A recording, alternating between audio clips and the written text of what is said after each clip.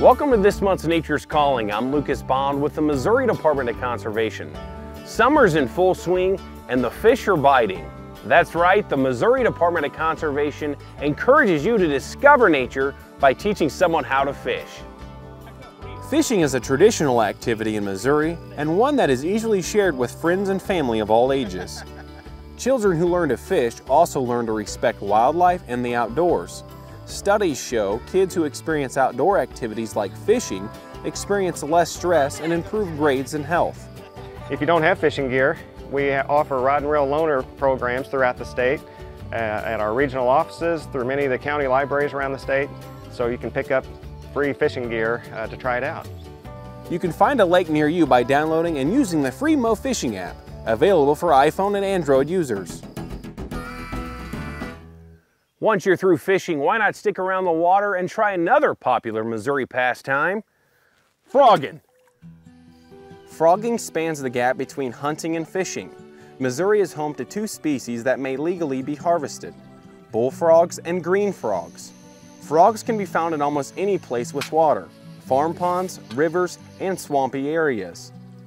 A bright flashlight and headlamp are essential tools for frogging, so is a bag with a drawstring to hold your fare.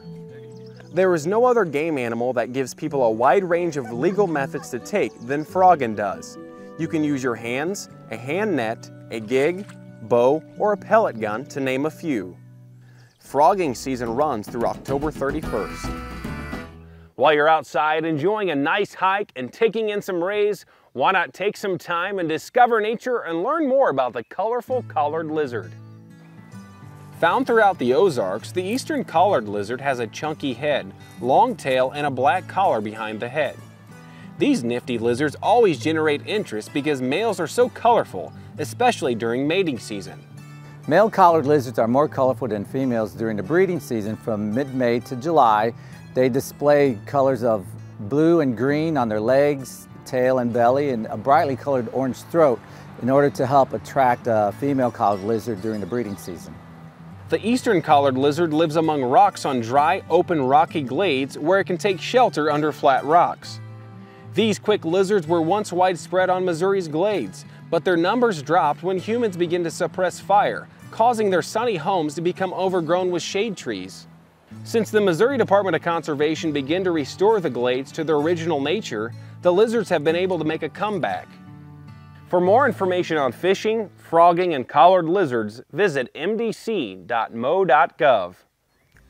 Thanks for watching and remember nature's calling. Get out and enjoy Missouri's outdoors.